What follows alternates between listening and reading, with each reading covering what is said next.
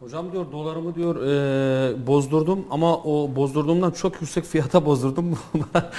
Bu bana O- diyor e, yani günah olur mu diyor Yok, izleyenimiz. biraz önce cinsten bahsettik. Evet. Bakın dolar TL ile e, karşılıklı olduğu zaman onda cinsler değiştiği zaman o faiz olmuyor zaten yani. Onda sıkıntı yok. TL TL ile olsaydı ama dolar TL ile bozdurulduğu için sıkıntı yok.